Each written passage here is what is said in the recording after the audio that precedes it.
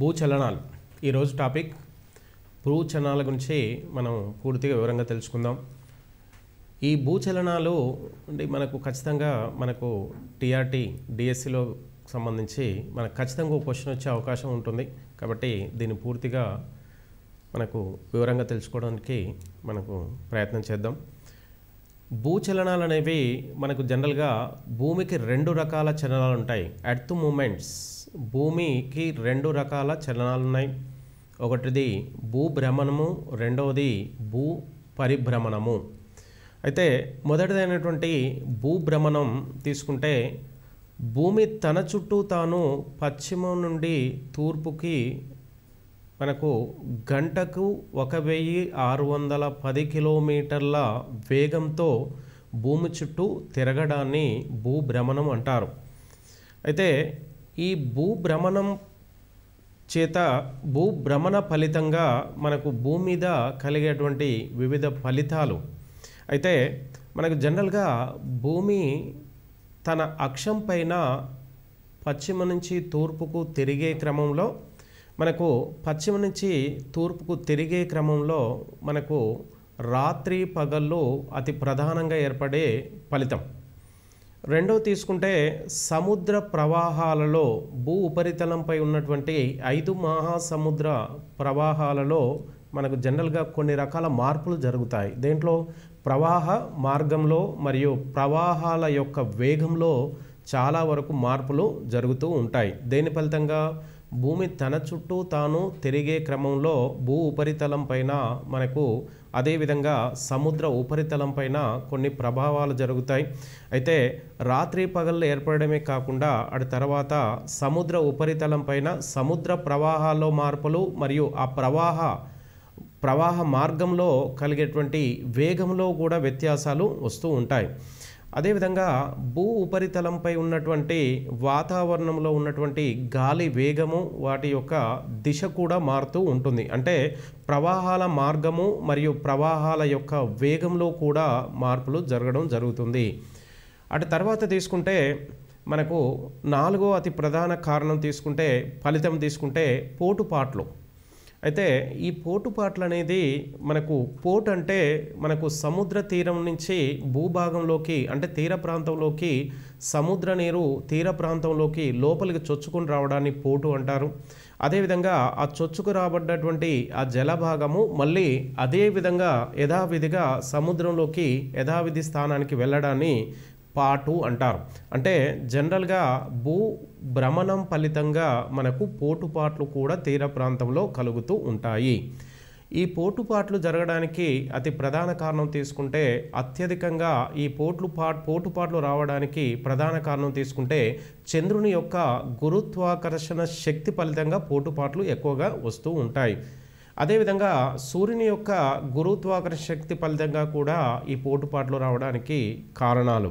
అయితే ఈ సముద్ర ప్రవాహాలు మనకు భూ ఉపరితలంలో పవనాల మార్గంలో మార్పులు ఇవి కూడా కొంత చంద్రుని యొక్క ఆకర్షణ శక్తి ఫలితంగాలో మనకు ఈ ప్రభావ ప్రభావాలనే కలుగుతూ ఉంటాయి.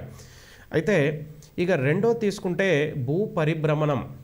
భూ పరిభ్రమణం అంటే మనకు జనరల్గా భూ మనకు రివల్యూషన్ ఎర్త్ రివల్యూషన్ అంటారు. భూమి తన చుట్టూ తాను తిరుగుతూ సూర్యుని చుట్టూ తిరగడం భూ పరిభ్రమణం అనే పేరుతో పిలుస్తూ ఉంటారు. అయితే భూ పరిభ్రమణ వేగము భూభ్రమణ వేగము మనకు జనరల్గా ఒక వెయ్యి ఆరు వందల పది కిలోమీటర్లుగా గంటకు భూమి తన చుట్టూ తాను తిరుగుతూ ఉంటుంది.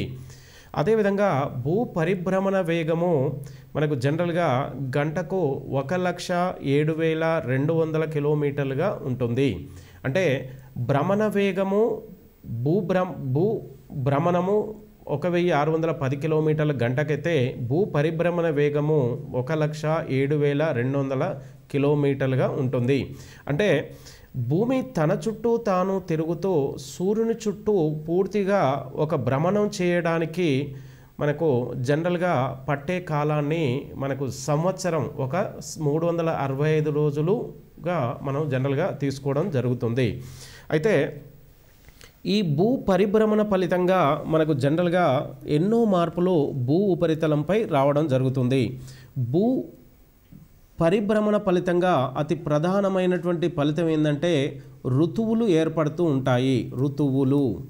ఋతువులు అంటే ఇంగ్లీష్లో సీజన్స్ అదేవిధంగా రెండవది ఏంటంటే మనకు మనకు రాత్రి పగల్లో కాల వ్యత్యాసాలు రాత్రి మరియు పగలులో కాల వ్యత్యాసాలు. అంటే ఓసారి మనకు ఎండాకాలంలో చూసుకుంటే పగలు అత్యధికంగా ఉంటుంది.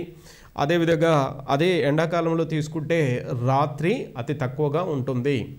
అంటే అదేవిధంగా తీసుకుంటే మనకు చలికాలంలో తీసుకుంటే పగలు అతి తక్కువగా ఉంటుంది రాత్రి ఎక్కువగా ఉంటుంది.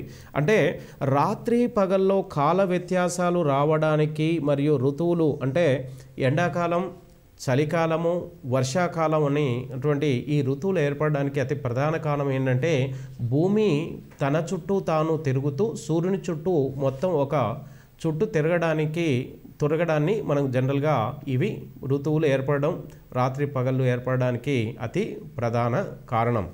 అయితే భూమి ఈ ఋతువులు మరియు రాత్రి పగలు ఏర్పడడానికి అతి ప్రధాన కారణం తీసుకుంటే భూ అక్షము మనకు జనరల్గా ఉత్తర దక్షిణ ధ్రువాల గుండా వెళుతూ భూకేంద్రం గుండా పయనిస్తూ ఉంటుంది. ఇది భూ అక్షం. అయితే ఈ భూ అక్షము మనకు సూర్యుని చుట్టూ పరిభ్రమణం చెందడం వల్ల ఈ భూ అక్షము ఒకసారి సూర్యుని వైపుకు ఇరవై మూడున్నర డిగ్రీల అక్షాంశం ఇరవై మూడున్నర డిగ్రీలు ఒకసారి సూర్యునికి దగ్గరగా వంగుతుంది. అలా వంగడం ఫలితంగా ఉత్తరార్ధగోళములో సగభాగం ఉత్తరార్ధ సగభాగము సూర్యునికి దగ్గరగా రావడం జరుగుతుంది. దక్షిణార్ధగోళము ఒకసారి సూర్యునికి అత్యంత ఎక్కువ దూరము వెళ్తూ ఉంటుంది. ఇలా మనకు ఇరవై మూడున్నర డిగ్రీల భూ అక్షము సూర్యుని వైపుకు వంగడం వలన ఉత్తరార్ధగోళంలో మనకు భూ అక్షము సూర్యునికి అతి దగ్గరగా వస్తుంది.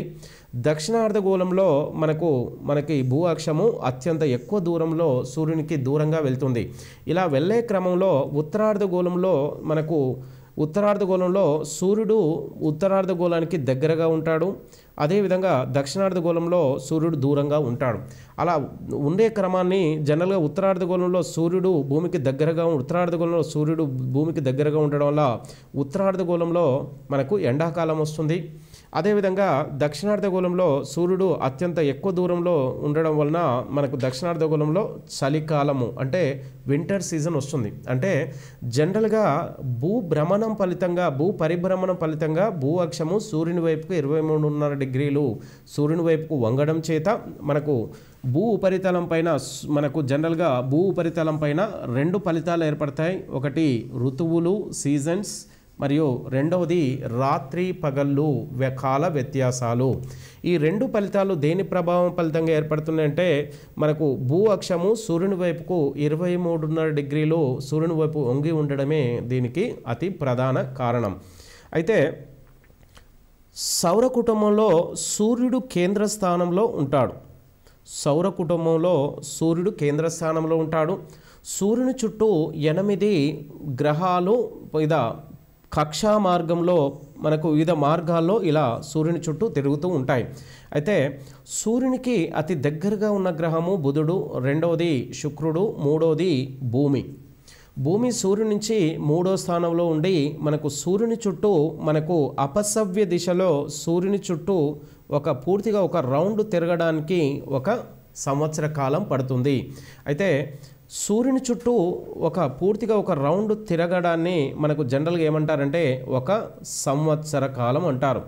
ఈ సంవత్సర కాలానికి జనరల్గా మూడు వందల అరవై ఐదు ఒకటి బై నాలుగు రోజులు అంటారు. ఈ మూడు వందల అరవై ఐదు ఒకటి బై నాలుగు రోజుల్ని ఒక సంవత్సరంగా సూచిస్తూ ఉంటాము.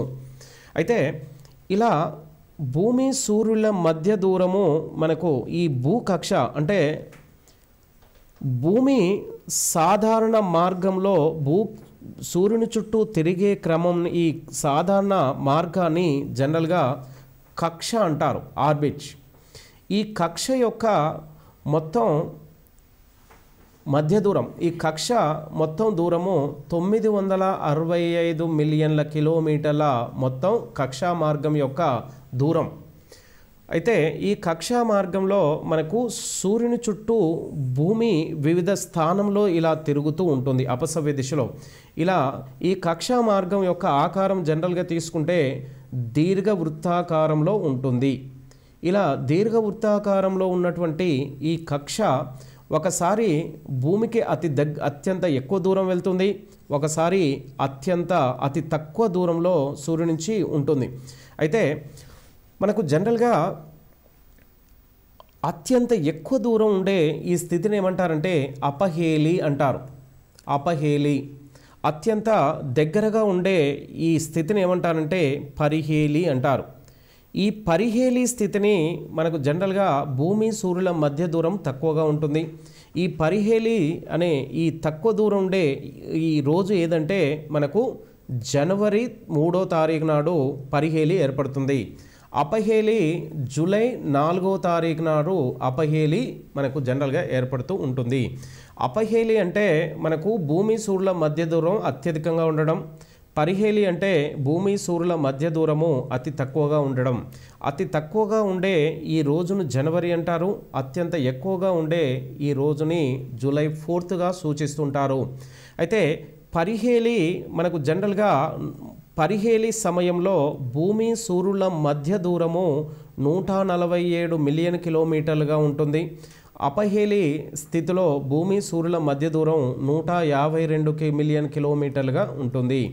అయితే భూమి సూర్యుల మధ్య సరాసరి మధ్య దూరము సరాసరి తీసుకుంటే నూట నలభై ఏడు ప్లస్ నూట యాభై రెండు ప్లస్ రెండు తీసుకుంటే నూట నలభై తొమ్మిది పాయింట్ ఐదు మిలియన్ కిలోమీటర్లుగా భూమి సూర్యుల మధ్య సరాసరి దూరంగా తీసుకోవడం జరుగుతుంది. అయితే ఈ భూకక్ష అనేది భూ అక్షం అనేది భూమి వైపుకు వంగి ఒకసారి వంగి ఉండడం ఫలితంగా మనకు ఈ రెండు ఫలితాలు ఏర్పడుతుంటాయి. ఋతువులు రాత్రి పగలు ఏర్పడుతుంటాయి. అదేవిధంగా అత్యంత ఎక్కువ దూరం ఉన్నప్పుడు మనకు ఈ చలికాలంలో దానికి పరి అంటే ఋతువులు ఏర్పడే క్రమానికి మనకు ఉత్తరార్ధగోళంలో ఎండాకాలం ఉంటే దక్షిణార్ధగోళంలో చలికాలం ఉంటుంది. ఇలా మనకు కాల వ్యత్యాసాలు ఏర్పడడానికి కారణం తీసుకుంటే భూమి సూర్యుడి నుంచి వివిధ మార్గంలో వివిధ స్థానాల్లో సూర్యుని చుట్టూ ఇలా తిరగడానికి తిరగడమే దీనికి కారణం. అయితే మనకు జనరల్గా భూమి సూర్యుని చుట్టూ తిరిగే మార్గం భూకక్ష అంటారు. ఈ భూకక్ష మార్గం ఈ భూకక్ష పొడవు తొమ్మిది వందల అరవై ఐదు మిలియన్ కిలోమీటర్లు. భూకక్ష దీర్ఘ వృత్తాకారంలో ఉంటుంది. ఇప్పుడు చూపించినట్లు డయాగ్రామ్లో చూపించినట్టుగా భూ పరిభ్రమలో భూమి యొక్క కక్షకు భూమి యొక్క అక్షం అరవై ఆరున్నర డిగ్రీల కోణంలో వంగి ఉంటుంది. ఎలా అనే విషయం తీసుకుంటే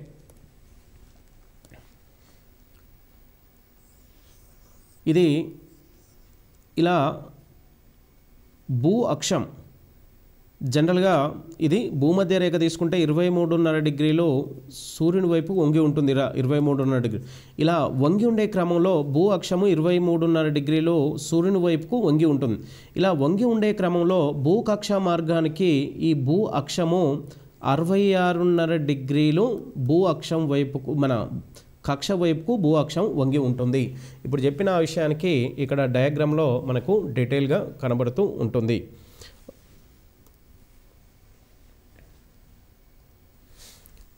రైట్. భూ పరిభ్రమణ ఫలితాలు తీసుకుంటే పగలు రాత్రుల్లో తేడాలు ఏర్పడతాయి మరియు ఋతువులు ఏర్పడుతూ ఉంటాయి. ఓకే?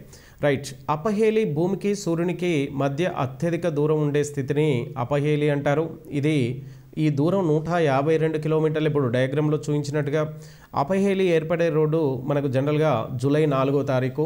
ఇప్పుడు అంతకుముందు చూసాం పరిహేలి అంటే మనకు భూమి సూర్యుల మధ్య దూరం అతి తక్కువ ఉండే స్థితిని పరిహేలి అంటారు. ఇది నూట నలభై ఏడు మిలియన్ కిలోమీటర్లు.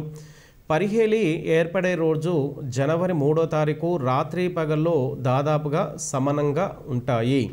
అయితే మనకు జనరల్గా మనకు భూ ఉపరితలంలో పరిహేలి ఏర్పడే రోజు జనవరి త్రీ థర్డ్ అయితే రాత్రి పగళ్ళు సమానంగా ఉండే రోజులు మనకు విషవత్తులు అంటారు. అయితే మనకు జనరల్గా ఇప్పుడు డయాగ్రామ్లో చూసే విధంగా చూద్దాం. భూమి ఇది భూ అక్షం. జనరల్గా సూర్యుడు భూమికి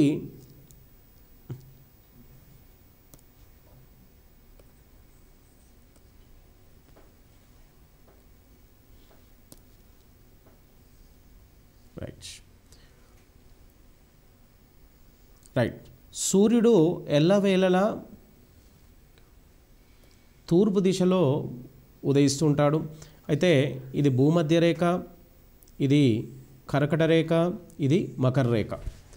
అయితే సూర్యకిరణాలు ఎల్లవేళలా భూ ఉపరితలం పైన కరకట రేఖ మకర రేఖలపైన భూమధ్య రేఖ పైన ఎల్లవేళలా లంబంగా పడుతూ ఉంటాయి.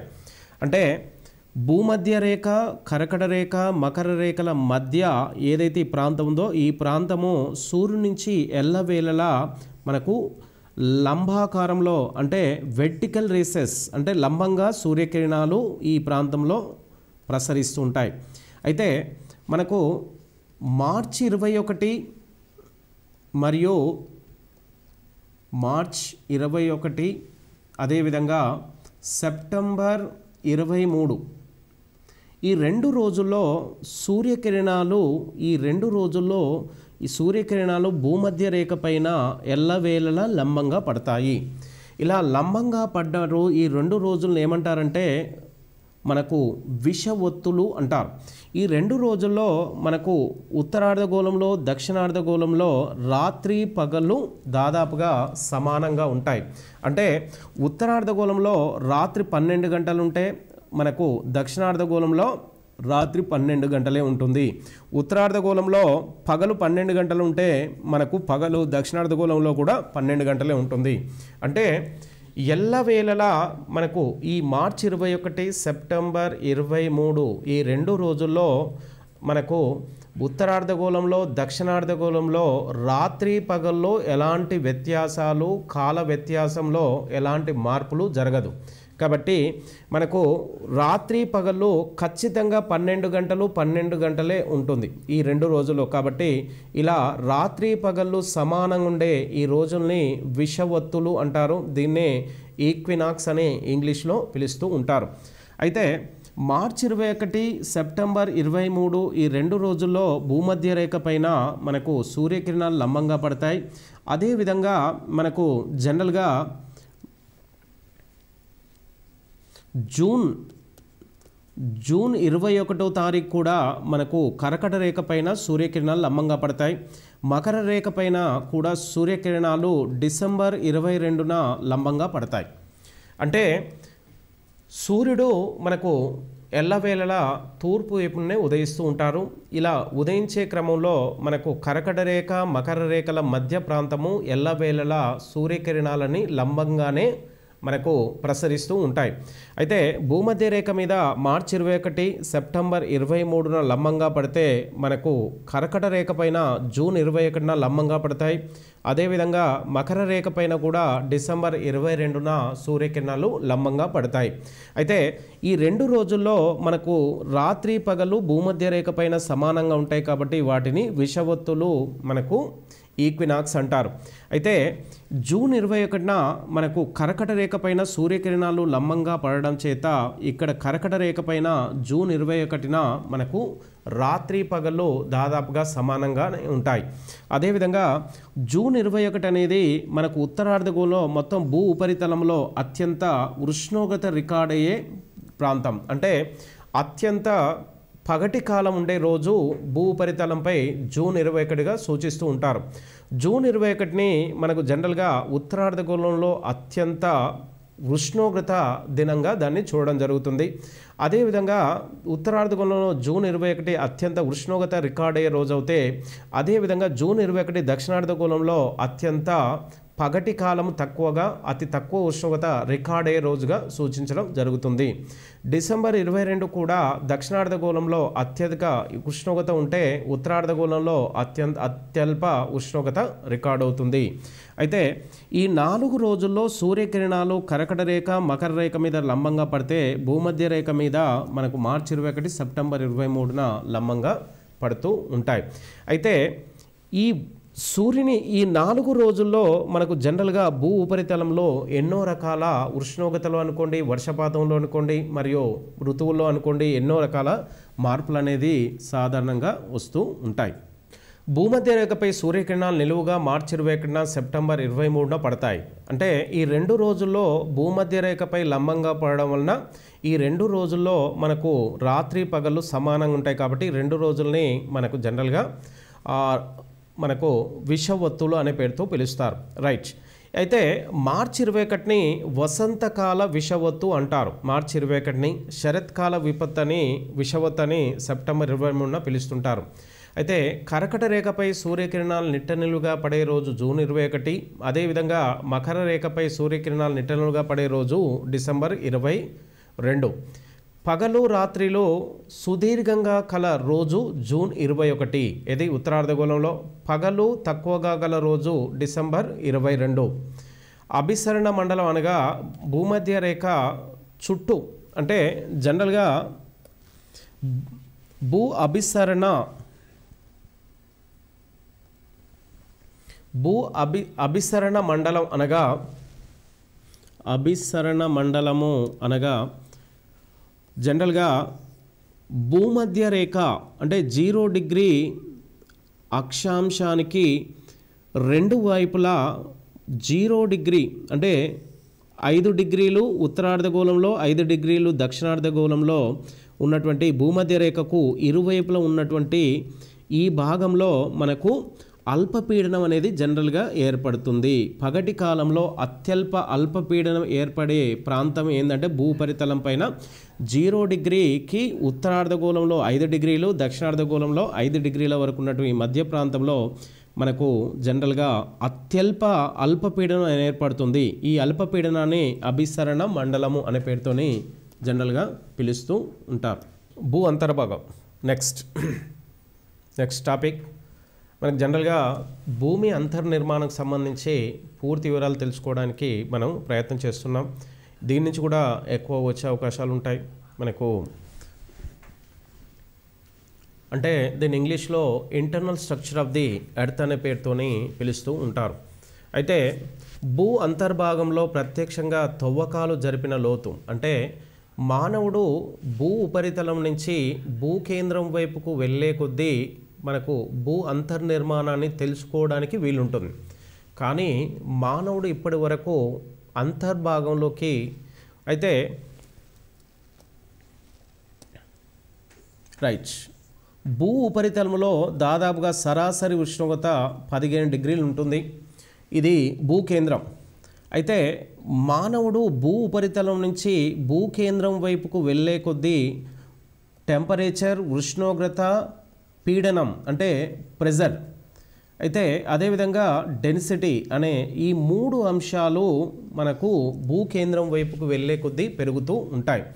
అయితే భూ అంతర్నిర్మాణాన్ని మానవుడు ఏ విధంగా అంతర్నిర్మాణాన్ని తెలుసుకున్నాడనే విషయాన్ని తీసుకుంటే మనకు కొన్ని ఆధారాలు ఎలా ఉన్నాయంటే మనకు భూ సిస్మో వేవ్స్ అంటారు. అంటే భూకంప తరంగాలు.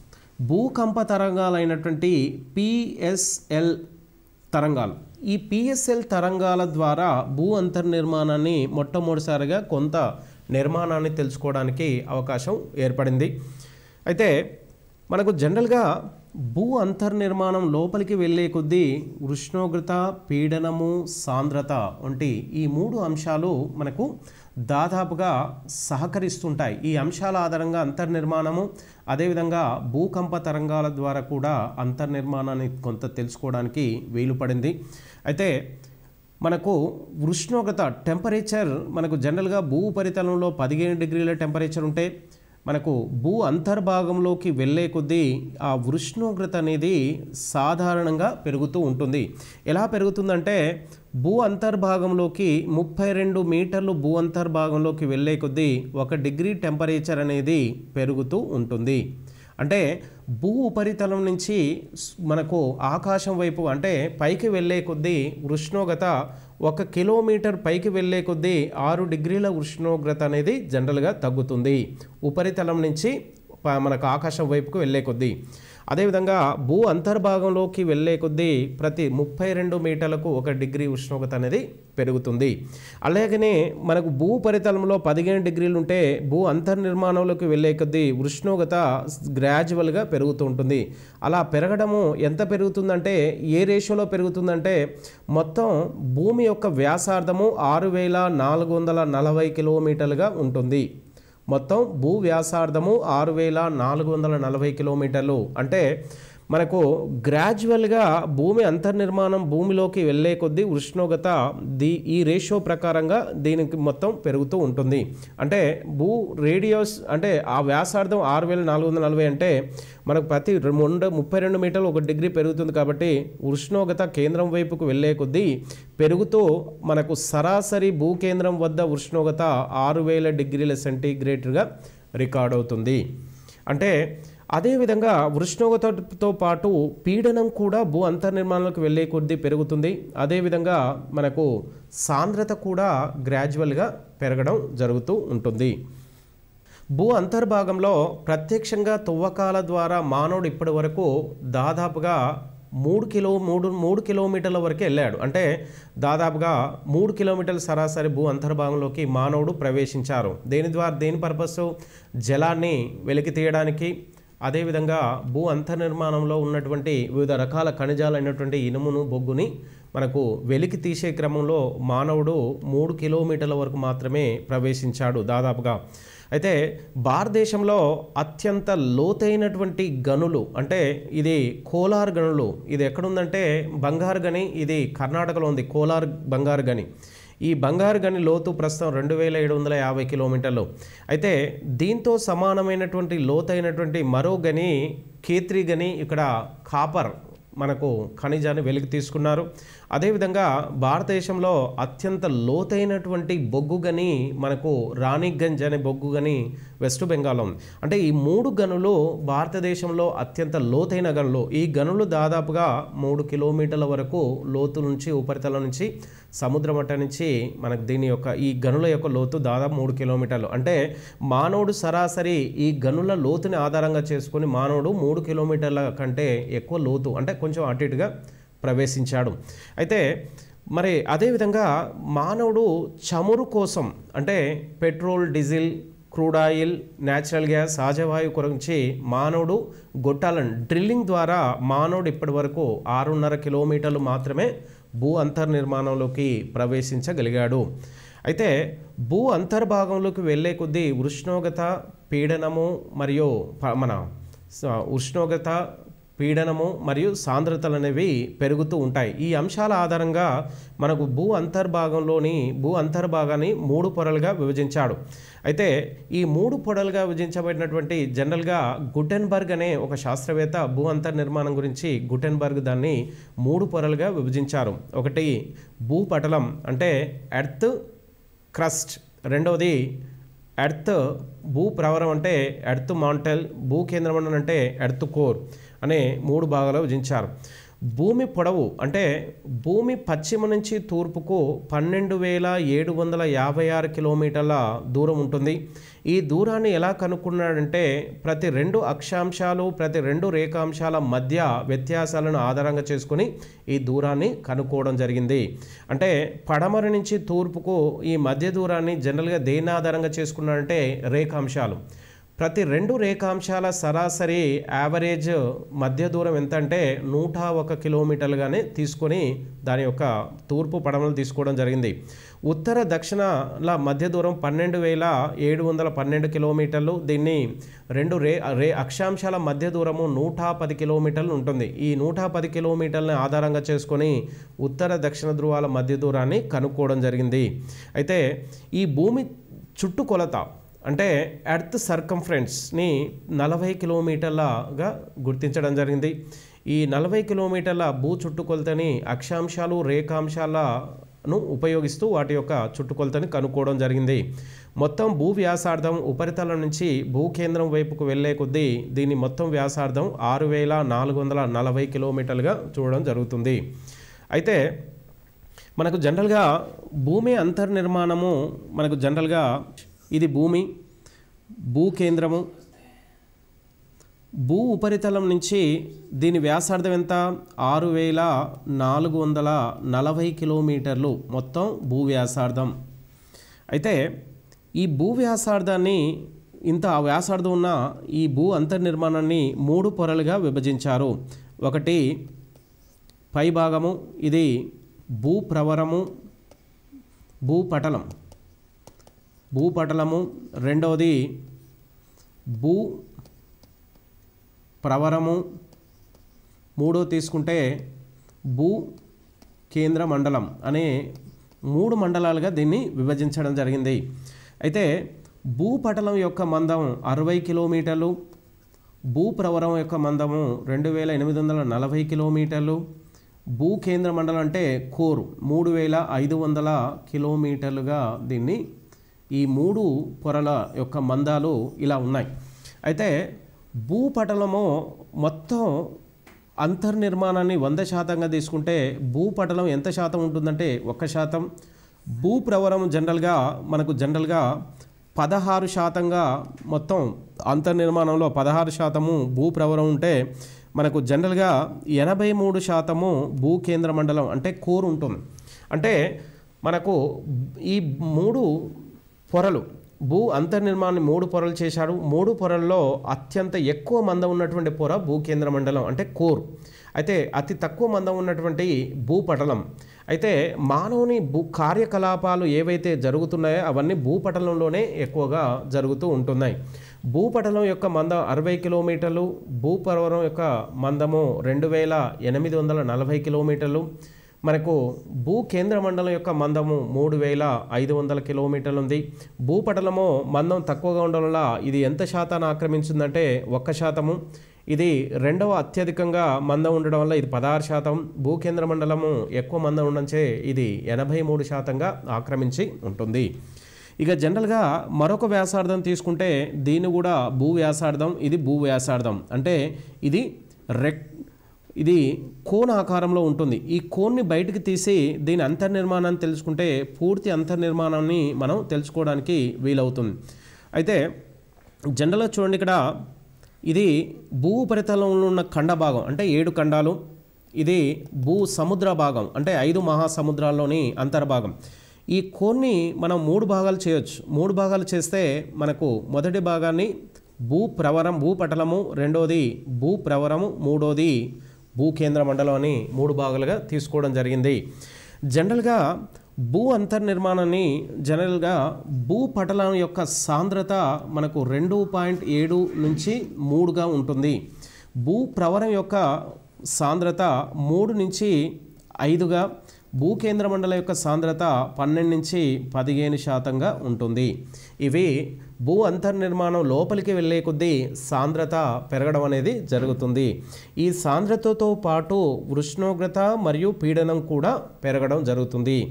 ఈ పీడనము ఉష్ణోగ్రత సాధారణంగా భూకేంద్రం నుంచి భూ ఉపరితలం నుంచి కేంద్రం వైపు వెళ్ళే కొద్దీ పెరుగుతుంది. అదేవిధంగా సాంద్రత కూడా దీని ప్రకారంగా పెరుగుతూ వెళ్తున్నాయి. అదేవిధంగా మనకు పీడనం కూడా పెరుగుతుంది. పీడనము ఉష్ణోగ్రత ఫలితంగా భూమి అంతర్నిర్మాణంలో ఉన్నటువంటి వివిధ శిలలు అనుకోండి వివిధ రకాల వాయువులు అనుకోండి వివిధ ద్రవాలు అనుకోండి వివిధ ఖనిజాలు అనుకోండి వాటిలో ఎన్నో రకాల మార్పులు జరగడం వలన అంతర్నిర్మాణంలో భూకంపాలు మరియు అగ్నిపర్వత ఉద్భజన ప్రక్రియ ద్వారా మనకు ఎన్నో రకాల భూ విపత్తులు భూపరితంలో విపత్తులు రావడానికి ఈ అంతర్నిర్మాణంలో ఉన్నటువంటి ఉష్ణోగ్రత పెరగడము పీడనం పెరగడము మరియు సాంద్రత పెరగడమే అత్యంత ప్రధానమైనటువంటి కారణం. అయితే మనకు భూపటలంలో ఖండభాగము ఇది జలభాగం. ఈ ఖండభాగం అంతర్నిర్మాణంలో మనకు జనరల్గా సుయాస్. సుయాస్ అనే ఒక శాస్త్రవేత్త భూ అంతర్నిర్మాణంలో రసాయనిక సమ్మేళనాలను ఆధారంగా చేసుకొని రసాయన సమ్మేళనాలని ఆధారంగా చేసుకొని భూ అంతర్నిర్మాణాన్ని మూడు పొరలుగా విభజించారు. ఎవరు? సుయాస్. అయితే ఒకటోది సియాల్ పొర రెండవది సిమా పొర. మూడోది నిఫే పొర నిఫే. సియాల్ అంటే సిలికాన్ ప్లస్ అల్యూమినియం. మూడోది రెండవది సిలికాన్ ప్లస్ మెగ్నీషియం మూడోది తీసుకుంటే నికెల్ ఫెస్ ఫెర్రస్. ఫెర్రస్ అంటే ఇనక ఇనుము. Nickel ferrous silicon magnesium silicon aluminium. అయితే మనకు సియాస్ ప్రకారం భూ అంతర్నిర్మాణంలో రసాయనిక సమ్మేళనాలను ఆధారంగా చేసుకొని మనకు భూ అంతర్నిర్మాణాన్ని సుయాస్ మూడు పొరలు చేశాడు. ఒకటి సియాల్ పొర దీంట్లో సిలికాన్ అల్యూమినియం అనే ఖనిజాలు అత్యధికంగా ఉంటాయి. రెండవది సిమా పొర ఇందులో సిలికాన్ మెగ్నీషియం అత్యధికంగా ఉంటాయి. మూడో తీసుకుంటే నికెల్ ప్లస్ ఫెర్రస్ ఈ రెండు మూడు ఖనిజాలు అత్యధికంగా ఉంటాయి. అయితే మనకు జనరల్గా సియాల్ పొర భూ అంతర్నిర్మాణంలో ఖండ అంతర్భాగంలో ఉండే ఈ భాగాన్ని సియాల్ లేయర్ అంటారు. అంటే భూపటలంలో ఖండ అంతర్భాగంలో అత్యధికంగా ఏ ఖనిజాలు ఉంటాయంటే సిలికాన్ అల్యూమినియం. అయితే సముద్ర అంతర్భాగంలో మనకు జనరల్గా అత్యధికంగా ఖండ భాగానికి సముద్ర అంతర్భాగంలో సీబెడ్ కింద ఉన్నటువంటి ఈ పొరలో మనకు సియాల్ సిమా పొర అనేది ఉంటుంది. అయితే జనరల్గా మనకు సుయాస్ ప్రకారం మొదటి రసాయనిక పొరలైనటువంటి సియాల్ సిమా ఈ రెండు పొరలు కూడా మనకు భూపటలంలోనే ఉంటాయనేది మనం అర్థం చేసుకోవచ్చు. ఇక అటు తర్వాత తీసుకుంటే మనకు భూప్రవరం. రెండు వేల ఎనిమిది వందల నలభై కిలోమీటర్ల మందం ఉన్నటువంటి ఈ భూప్రవరములో మనకు అత్యధికంగా సిలికాన్ ఉంటుంది. మనకు లోహ ఖనిజాలు లోహ ఖనిజాలు కూడా అత్యధికంగా ఉంటాయి. సిలికాను మరియు లోహ ఖనిజాలు. లోహ ఖనిజాలు అంటే మనకు జనరల్గా యావరేజ్గా ఇనుము మెగ్నీషియం అల్యూమినియం కాపర్ జింక్ ఇలాంటివన్నిటిని లోహ ఖనిజాలు అంటారు. అంటే మనకు రెండవ భూప్రవరంలో సిలికాన్ లోహ ఖనిజాలు అత్యధికంగా ఉంటాయి. అదేవిధంగా మనకు మూడో పొర అయినటువంటి భూకేంద్ర మండలంలో మనకు అత్యధికంగా ఉండే ఖనిజాలు ఏంటంటే నికెల్ ఫెర్రస్. ఫెర్రస్ అంటే ఇనుము. అయితే మనకు జనరల్గా మనకు భూ భూకేంద్ర మండలాన్ని మనకు రెండు భాగాలుగా విభజించవచ్చు. బాహ్య భూకేంద్ర మండలం రెండవది అంతర్ భూకేంద్ర మండలం బాహ్య భూకేంద్ర మండలాన్ని మనకు పైన అంటే భూకేంద్ర మండలం రెండు భాగాలు విభజిస్తే ఇది ఈ భాగానికి పైన ఉన్న ఈ భాగాన్ని బాహ్య భూకేంద్ర మండలం కింది దాన్ని భూ- మనకు అంతర్భూకేంద్ర మండలం ఈ బాహ్య భూకేంద్ర మండలంలో మనకు నికెల్ ఫెర్రస్ అత్యధికంగా ఉంటుంది. అంతర్భూకేంద్ర మండలంలో నికెల్ ప్లస్ గోల్డ్ అత్యధికంగా భారజల స్థితిలో ఉంటాయి. ఇక నికెల్ ఫెర్రస్ అనేవి ఈ రెండు ద్రవ స్థితిలో ఉంటాయి ఇక్కడ. అంటే బాహ్య భూకేంద్ర మండలంలో నికెల్ ఫెర్రస్ ద్రవ స్థితిలో ఉంటే అంతర్ బాహ్య కేంద్రంలో అంతర్ భూకేంద్ర మండలంలో మనకు నికెల్ మన సార్ ఫెర్రస్ సారీ ఇది ferrous ferrous gold ferrous gold అత్యధికంగా మనకు అంతర్ కేంద్ర మండలంలో అత్యధికంగా ఉంటాయి.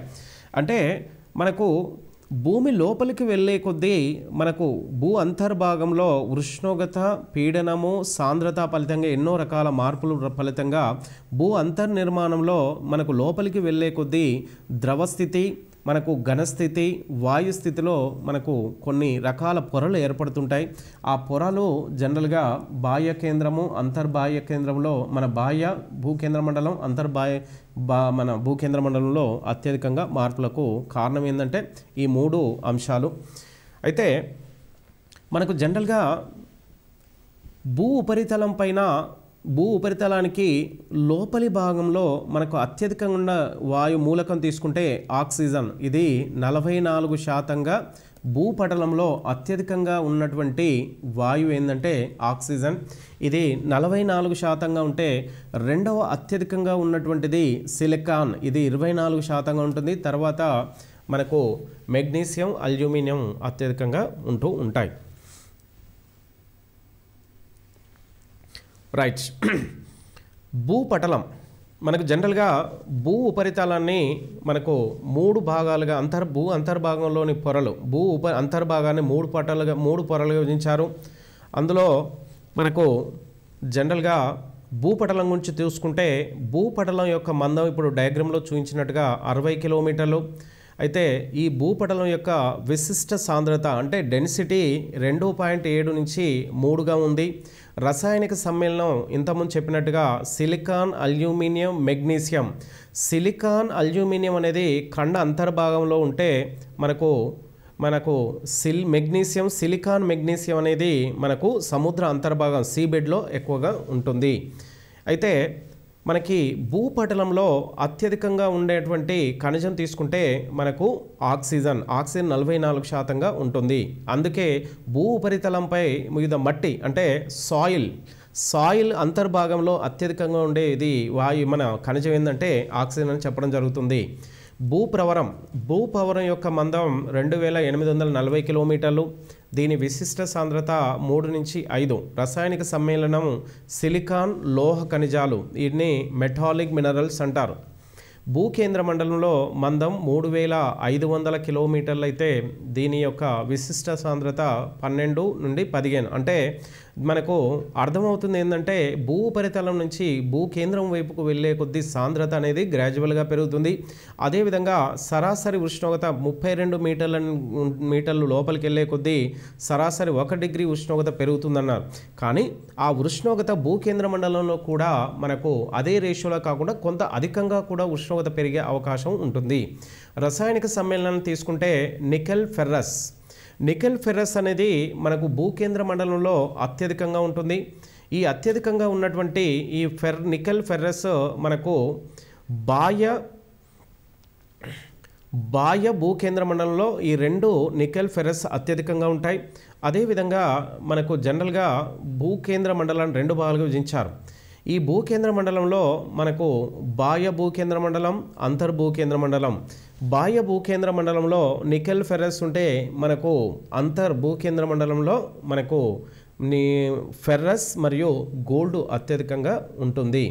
అయితే రసాయనిక సమ్మేళనాన్ని ఆధారంగా చేసుకొని మనకు బాహ్య అంతర్భూ కేంద్రాలుగా విభజించారు మొత్తం భూ వ్యాసార్థం ఆరు వేల నాలుగు వందల నలభై కిలోమీటర్లు అయితే ఇది పాత బుక్లో మనకు టీఆర్టీ అంటే డిఎస్సిలో ఆరు వేల నాలుగు వందల నలభై ఉంటే ఇప్పుడు కొత్త టెక్స్ట్ బుక్లో న్యూ సిలబస్ ప్రకారము ఆరు వేల మూడు వందల డెబ్బై ఆరు కిలోమీటర్ల న్యూ సిలబస్లో ఉంది. భూ ఉపరితల నుండి భూమి లోపలికి వెళ్ళే కొద్దీ ప్రతి ముప్పై రెండు మీటర్ కిలోమీటర్ కిలోమీటర్లకు ఇక్కడ కిలోమీటర్లు కాదు అది ముప్పై రెండు మీటర్లు. ముప్పై రెండు మీటర్లు లో భూ ఉపరితలంలో భూ అంతర్భావంలోకి వెళ్ళే కొద్దీ ఒక డిగ్రీ ఉష్ణోగ్రత పెరుగుతుంది. భూనాభి వద్ద ఉష్ణోగ్రత ఆరు వేల డిగ్రీలు ఉంటుంది. ఉండడానికి కారణం ఏంటంటే ముప్పై రెండు మీటర్ల లోపలికి వెళ్ళే కొద్ది ఉష్ణోగ్రత పెరగడం ఫలితంగా మనకు భూకేంద్రం వైపుకి వెళ్ళే కొద్దీ ఉష్ణోగ్రత ఈ రేంజ్లో మనకు ఈ ఉష్ణోగ్రత రికార్డ్ అవుతుంది. సుయాస్ అనే ఒక మనకు భూశాస్త్రవేత్త అంతర్నిర్మాణ భూశాస్త్రవేత్త ఇతను మనకు వివిధ రకాల రసాయనిక సమ్మేళనాన్ని ఆధారంగా చేసుకొని మనకు అంతర్నిర్మాణాన్ని మూడు పొరలుగా విభజించారు. అందులో సియాల్ పొర సియాల్ అంటే మనకు వివిధ రకాల మూలకాల యొక్క మొదటి అక్షరాలు. సియాల్ అంటే సి అంటే సిలికాన్ ఏ అల్యూమినియం ఏఆల్ అంటే అల్యూమినియం. ఇక సిమా సిమా అంటే సిలికాన్ మెగ్నీషియం నిఫే అంటే నికెల్ ఫెర్రస్. అయితే భూపటలం జనరల్గా భూపురవరం మందం అతి తక్కువగా ఉండడం వల్ల ఇది ఎంత శాతాన్ని ఆక్రమించుకుందంటే అంతర్నిర్మాణంలో ఒక శాతం భూ కేంద్ర మండలం పదహారు శాతంగా ఉంటే భూ కేంద్ర మండలం ఎనభై మూడు శాతం ఉంది. సముద్రాలు మహాసముద్రాలు అంతర్భాగంలో సిమా సిలికాన్ మెగ్నీషియం ఇప్పుడే పైన చెప్పాము. ఖండ అంతర్భాగంలో సియాల్ పొర సియాల్ సిలికాన్ అల్యూమినియం ఎక్కుంటే సముద్ర అంతర్భాగంలో సిమా అంటే సిలికాన్ మెగ్నీషియం అత్యధికంగా ఉంటుంది. మనకు జనరల్గా భూచలనాలు అనే చాప్టర్లో మనకు చాలా ప్రధానమైన చాప్టర్ అని తీసుకోవచ్చు. ఇంతకుముందు ఇదివరకు కూడా కొన్ని ఎక్కువగా ఇంపార్టెంట్ క్వశ్చన్లు దీని నుంచి తీసుకోవడం జరిగింది. మనకు ఇదివరకు ఇంతకుముందు మనకు టిట్లో డిఎస్లో కూడా దీని నుంచి ఒక క్వశ్చన్ ఎలా వచ్చేదంటే మనకు భూమి భూమి సూర్యుని చుట్టూ పరిభ్రమణ పరిభ్రమణించే క్రమంలో భూమి తన చుట్టూ తాను తిరుగుతూ సూర్యుని చుట్టూ తిరగడాన్ని పరి భూ పరిభ్రమణం అంటారు. ఈ పరిభ్రమణము సూర్యుని చుట్టూ అపసవ్య దిశలో జరుగుతుంది. ఈ అపసవ్య దిశలో భూ పరిభ్రమణ ఈ సాధారణ కక్షా మార్గాన్ని మన కక్షా మార్గం యొక్క పొడవు ఎంత అనేది ఇదివరకు టెట్లో అడిగాడు. దీని మొత్తం పొడవు తొమ్మిది వందల అరవై ఐదు మిలియన్ కిలోమీటర్లుగా ఉండడం జరుగుతుంది. అయితే జనరల్గా ఇక్కడ ఇంకో క్వశ్చన్ ఎలా ఉంటుందంటే మనకు మార్చ్ ఇరవై ఒకటి మనకు సెప్టెంబర్ ఇరవై మూడు ఈ రెండు రోజుల్లో భూ ఉపరితలం పైన అంటే భూమధ్యరేఖ పైన సూర్యకిరణాలు లంబంగా పడతాయి. ఇలా సూర్యకిరణాలు లంబంగా పడే ఈ రెండు రోజుల్ని మనకు విషవత్తులు అంటారు. అయితే ఈ రెండు రోజుల్లో ఈ విషవత్తులు ఏర్పడే రోజులు ఏంటి అనే క్వశ్చన్ కూడా అడిగాడు. అయితే మనకు జనరల్గా భూ ఉపరితలంపై అత్యధిక ఉష్ణోగ్రత హాటెస్ట్ డే ఏంటంటే జూన్ ఇరవై ఒకటిగా కూడా ఈ క్వశ్చన్ రావడం జరిగింది. మనకు అటు తర్వాత తీసుకుంటే భూ అంతర్నిర్మాణంలో మనకు అత్యధికంగా సిమాలేయరు ఏ పొరలో విస్తరించి ఉందని అండు సిమాలేయర్ అనేది సముద్ర అంతర్భాగానికి సంబంధించి ఖండ భాగానికి జలభాగానికి మధ్యలో మనకు సముద్ర అంతర్భాగంలో ఈ సిమా పొర అనేది విస్తరించి ఉంది. అయితే తర్వాత తీసుకుంటే భూ వ్యాసార్థము ఆరు వేల నాలుగు వందల నలభై కిలోమీటర్లటువంటి భూ వ్యాసార్థంలో మనకు అతి ప్రధానమైనటువంటి మనకు భాగం ఏందన్న విషయం తీసుకుంటే మనకు మానవ కార్యకలాపాలకు అనుకూలమైనటువంటి పొర ఏంటంటే భూపటలం. ఈ భూపటలంలో అత్యధికంగా ఉండేటువంటి మూలకం ఏందనే విషయం తీసుకుంటే ఆక్సిజన్ అయితే ఈ ఆక్సిజన్ ఫలితంగా భూమి ఉపరితలం పైన మానవ జీవనం మనుగడకు అత్యంత ప్రధానంగా ఈ భూపటలం అనేది ఉపయోగపడుతూ వచ్చింది. అదేవిధంగా మనకు భూమి లోపలికి వెళ్ళే కొద్దీ మనకు ఉష్ణోగ్రత పెరగడానికి అతి ప్రధాన కారణం తీసుకుంటే మనకు అంతర్నిర్మాణంలో పీడనము మరియు వివిధ ఖనిజాలు కూడా ఉష్ణోగ్రత పెరగడానికి ఒక కారణంగా చెప్పడం జరుగుతూ వస్తుంది. జనరల్గా లోపలికి వెళ్ళే కొద్దీ పీడనము సాంద్రత అనేది సాధారణంగా పెరుగుతాయి. ఆ పెరగడం ఫలితంగా కూడా కొంత ఉష్ణోగ్రత అనేది పెరుగుతూ వెళ్తుంది అనేది కూడా కొంత మనకు పరోక్షంగా మనం తెలుసుకోవడానికి ఉపయోగపడుతూ ఉంటుంది. అయితే ఈ జనరల్గా భూమి యొక్క పొడవు వెడల్పులు తెలుసుకోవడానికి దేన్ని ఆధారంగా చేసుకుంటారంటే అక్షాంశాలు రేఖాంశాలు. అదేవిధంగా భూ ఉపరితలంలో మనకు జనరల్గా శీతోష్ణ స్థితి అంటే మనకు ఉష్ణోగ్రత వర్షపాతం మరియు నేలల యొక్క సారము అడవుల యొక్క పెరుగుదల వాటి యొక్క లక్షణాలు ఇవన్నీ మనకు జనరల్గా అక్షాంశాల చేత వీటి యొక్క ఈ అంశాలను మనం తెలుసుకోవడం జరుగుతుంది. అదేవిధంగా రేఖాంశాలు ఎలా ఉపయోగపడతాయనే ఇష్యూ తీసుకుంటే మనకు జనరల్గా మనకు ఈ కాలాన్ని కనుక్కోవడానికి రేఖాంశాలు అతి పెద్ద ప్రధాన కారణంగా మనం చెప్పడం జరుగుతుంది. అయితే భూకేంద్ర మండలంలో మనకు అంతర్భాగంలో బాహ్య భూకేంద్ర మండలం అనేది ఉంది అంతర్భూకేంద్ర మండలం ఉంది.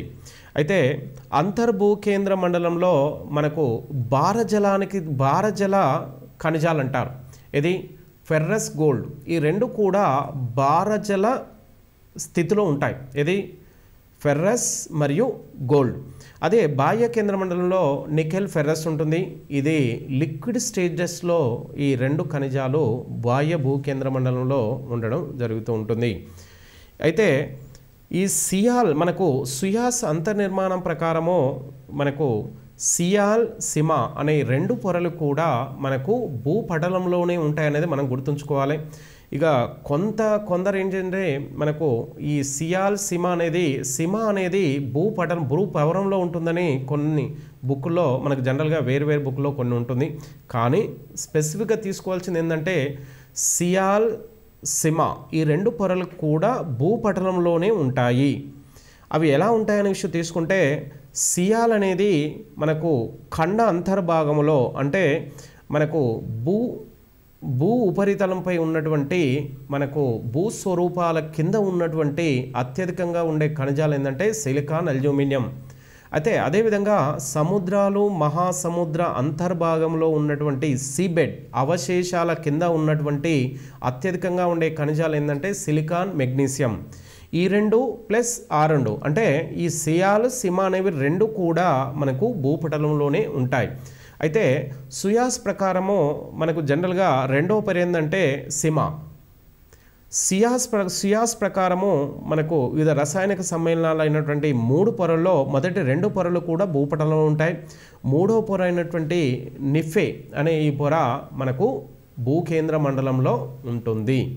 అయితే మనకు జనరల్గా భూమి ఏర్పడక భూమి ఏర్పడే సమయంలో మనకు ఇప్పుడున్న భూమి పరిమాణము భూమి ఏర్పడే సమయంతో పోల్చుకుంటే ఇప్పుడు భూమి పరిమాణం అనేది గ్రాడ్యువల్గా పెరిగిపోయింది.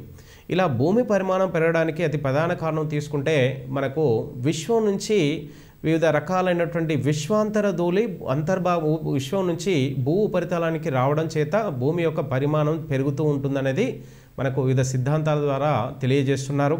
ఇలా భూమి ఉపరితలంలో మనకు అత్యధికంగా నిక్క మనకు సియాల్ అంటే సిలికాన్ అల్జూమినియం అనేది విశ్వం నుంచే భూ ఉపరితలంలోకి రావడం జరిగింది. అదేవిధంగా సిలికాన్ మెగ్నీషియం కూడా విశ్వం నుంచే భూ ఉపరితలంలోకి రావడం అనేది జరుగుతూ వచ్చింది. అంటే మనకు జనరల్గా విశ్వం నుంచే సిలికాన్ అల్జూమినియం సిలికాన్ మెగ్నీషియం అనే ఈ మూడు రకాల ఖనిజాలు విశ్వాంతర ధూళి అనే మన పదార్థం నుంచి భూపరితలంలోకి వచ్చి మన భూమి పరిమాణం పెరగడం చేత ఈ సిలికాన్ అనేది జనరల్గా ఎలా ఉపయోగపడుతుందంటే ఇప్పుడు ఎలక్ట్రానిక్స్ ఎలక్ట్రానిక్స్ ఎలక్ట్రికల్గా మనకి ఎక్కువ సిలికాన్ ఎక్కువగా ఉపయోగపడుతూ వస్తూ ఉంటుంది. ఇక మనకు జనరల్గా ఈ భూ వ్యాసార్థం ఆరు వేల నాలుగు వందల నలభై కిలోమీటర్ల నుండి ఈ భూ వ్యాసార్థం మనకు డిఎస్సి అంటే టీఆర్టీలో మనకు పాత సిలబస్ ప్రకారంగానే ఇస్తున్నారు కాబట్టి కొత్త సిలబస్లో ఆరు వేల మూడు వందల డెబ్బై ఆరు కిలోమీటర్లుగా ఉంది. పాత సిలబస్లో ఆరు వేల నాలుగు వందల నలభై కిలోమీటర్లుగా ఉంది. కాబట్టి మనకు దాదాపు ఆరు వేల నాలుగు వందల నలభై వచ్చే అవకాశం ఉంటుంది. అయితే మనకు జనరల్గా భూ వ్యాసార్థం భూమికి అంతర్భాగంలో భూ ఉపరితలం నుంచి కొంత అంతర్భాగంలో అత్యధికంగా ఉండే మూలకం ఆక్సిజన్గానే మనం తీసుకోవడం జరుగుతూ ఉంటుంది. మనకు జనరల్గా భూ అంతర్నిర్మాణాన్ని ఏ విధంగా ఎలాంటి సిద్ధాంతాల ద్వారా కనుక్కున్నారంటే మనకు భూకంపాల ద్వారా వచ్చే భూ అం ఉపరితలానికి వచ్చేటువంటి పిఎస్ఎల్ మనకు తరంగాల చేత భూ అంతర్నిర్మాణం కొంత తెలుసుకోవడం అనేది జరిగింది. మనకు ఈ భూ అంతర్నిర్మాణంలో అత్యధికంగా అతి ప్రధానమైన పొరలు ఈ మూడు పొరలు వాటి యొక్క సాంద్రతలు వాటి యొక్క వివిధ పొరల మందాలు అంటే థిక్నెస్ భూకేంద్రం వద్ద ఉష్ణోగ్రత ఎందుకు పెరుగుతుంది? అటు తర్వాత భూ ఉపరితలంలో సరాసరి ఉష్ణోగ్రత భూ ఉపరితలంలో అత్యధికంగా ఏ మూలకం ఉంది? ఏ వాయువు ఉంది? అనే విషయాన్ని మనం జనరల్గా తెలుసుకోవడం అనేది ఇంపార్టెంట్. అదేవిధంగా ఇక భూచలనాల్లో తీసుకుంటే అతి ప్రధానంగా భూ ఉపరితలంలో అత్యంత ఫలితాలు అనేవి మనకు భూ పరిభ్రమలనే కలుగుతూ ఉంటాయి. అయితే ఉత్తరార్ధగోళం కానీ దక్షిణార్ధగోళం కానీ భూమికి సూర్యునికి దగ్గరగా వెళ్ళడం వలన మనకు ఎండాకాలం దూరంగా వెళ్ళడం వలన మనకు చలికాలం అనేది కలుగుతున్నాయి అంటే ఈ రెండింటిని కంపేర్ చేసుకుంటూ వెళ్తే మనకి చాప్టర్లో ఎక్కువగా అవకాశాలు ఉన్నాయి. మనకు కరకట రేఖపై ఏ రోజు ఉష్ణ మనకు కిరణాలు నిటనులుగా పడతాయి అంటే జూన్ ఇరవై ఒకటి ఈ రోజుని మనకు జనరల్గా అత్యంత ఉష్ణోగ్రత నమోదయ రోజుగా అత్యుష్ణ రోజుగా. అదేవిధంగా ఉత్తరార్ధగోళంలో అత్యుష్ణ రోజుగా జూన్ ఇరవై ఒకటి ఉంటే దక్షిణార్ధగోళంలో జూన్ ఇరవై ఒకటి అత్యల్ప ఉష్ణోగ్రత రోజుగా ఉంటుంది. ఇక అదేవిధంగా డిసెంబర్ ఇరవై ఒకటిన దక్షిణార్ధగోళంలో అత్యుష్ణం ఉంటే మనకు ఉత్తరార్ధగోళంలో అత్యల్పం ఉంటుంది. ఇక జనరల్గా ఈ పరిహేలి అపహేలి ఏ రోజు జరుగుతుంది అనేది మనం జనరల్గా చాలా ప్రధానం ఉంటాయి.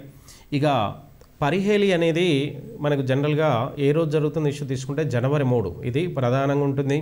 పరిహేలి సమయంలో భూమి సూర్యుల మధ్య ఉన్నటువంటి మధ్య దూరాన్ని కూడా ప్రధానంగా చూసుకోవాల్సి వస్తుంది. నూట నలభై ఏడు మిలియన్ కిలోమీటర్లు. అదేవిధంగా అపహేలి అపహేలి అంటే భూమి సూర్యుల మధ్య దూరం అత్యధికంగా ఉంటుంది. ఈరోజు మనకు జనరల్గా జూలై నాలుగో తారీఖు ఉంటుంది. ఈరోజు అంటే ఆ రోజు ఏర్పడే రోజు ఆ భూమి సూర్యుల మధ్య దూరం నూట యాభై రెండు కిలో మిలియన్ కిలోమీటర్లుగా ఉంటుంది. అయితే ఈ దూరాలను కంపేర్ చేసుకుంటూ మనం ఒక మ్యాప్ ప్రకారం ఇప్పుడు చూపిన మ్యాప్ ప్రకారం వెళ్తే మనకు దాదాపుగా మనకు ఈజీగా అర్థం చేసుకోవడానికి ఉంటుంది. అయితే విషవత్తులో మార్చి ఇరవై ఒకటి వసంతకాల విషవత్తు అన్నాడు శరత్కాల విపత్తు విషవత్తు అన్నాడు. అంటే ఎండాకాల విషవత్తు మనకు వర్షాకాల విషవత్తు అనే పేరుతోని శీతాకాల విషవత్తు అనే పేరుతోని జనరల్గా దీన్ని పిలుస్తూ ఉంటారు విషవత్తులని. ఇక భూభ్రమణ వేగం గంటకు ఒక వెయ్యి ఆరు వందల పది కిలోమీటర్లు. భూ పరిభ్రమణ వేగము సూర్యుని చుట్టూ పరిభ్రమణ వేగం ఒక లక్ష ఏడు వేల రెండు వందల ఇరవై కిలోమీటర్లు. ఇవి కూడా ఒకసారి భూకక్ష భూ భ్రమణ వేగం ఎంత అనేది ఇంతకుముందు టెట్లో అడిగాడు.